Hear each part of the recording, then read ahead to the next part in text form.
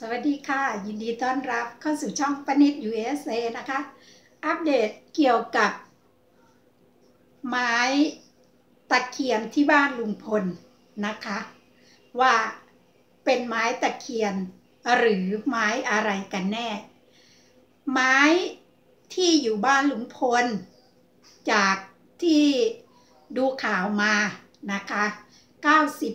90%น่าจะ เป็นไม้ตะเคียนนะคะ แต่ไม่ใช่ตะเคียนทอง มันจะเป็นตะเคียนสายพันธุ์อื่นนะคะจากที่ดูเจ้าหน้าที่ป่าไม้ เขาบอกว่าไม่ใช่ตะเคียนทองนะคะ แต่มีความเป็นตะเคียน 90%นะคะ เดี๋ยวเขาจะไปพิสูจน์อีกทีหนึ่งว่า เป็นไม้ตะเคียน ชนิดไหนกันแน่ เป็นไม้ตะเคียนหินหรือเปล่าอะไรประมาณนั้นนะคะ แต่ที่เขาอาบอกก็คือน่าจะอยู่ในประเภทไม้ตะเคียนหินนะคะ เดี๋ยวก็ตามดูอีกทีหนึ่งนะคะ ทีนี้จากผู้รู้ นะคะเขาบอกว่า ไม้ที่บ้านลุงพล มันเป็นไม้ที่ลอยน้ำมา อย่างน้อยๆลุงพลก็ไม่ได้ไปตัดมาแหละนะคะพรบป่าไม้ หรือพระพระราชบัญญัติป่าไม้ มาตราเจ็ดมีการปลดล็อกแล้วว่าอนุญาตไม้ตะเคียน ถ้าปลูกเองในพื้นที่ตัวเอง ไม่ผิดกฎหมายนะคะ สามารถที่จะครอบครองได้ ในกรณีของลุงพล ไม่ได้มีกรรมสิทธิ์ที่ดิน ก็คือพื้นที่ที่ลุงพลอยู่ ไม่ได้มีกรรมสิทธิ์ ไม่ได้เป็นหนอสอสาม ไม่ได้เป็นโฉนด แต่อย่างใดนะคะ ซึ่งที่ตรงนั้นปณิต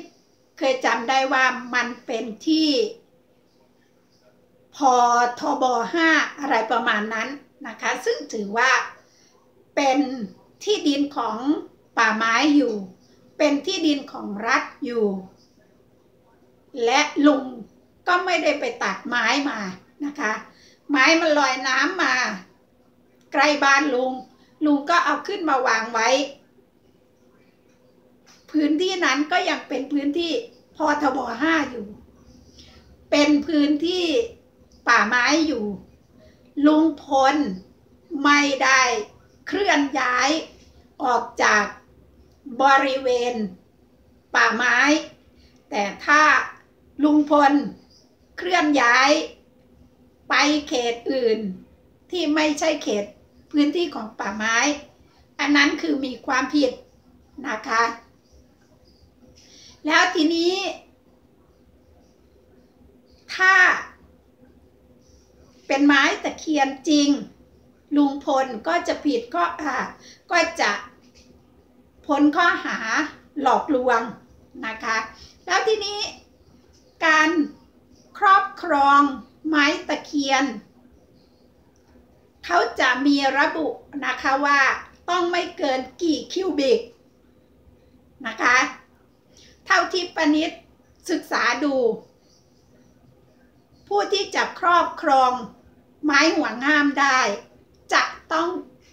ไม่เกิน 4 คิวบิกนะคะ แต่อันนี้ของลุงพล มันด้านกว้าง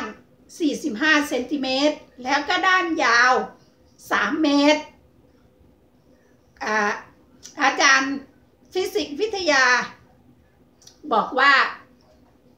มันไม่น่าจะถึงคิวบิกด้วยซ้ำไป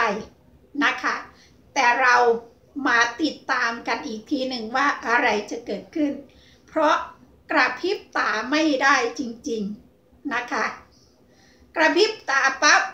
ลุงพล เกิดเรื่องทันทีสำหรับคลิปนี้ขอบคุณที่ติดตาม สวัสดีค่ะ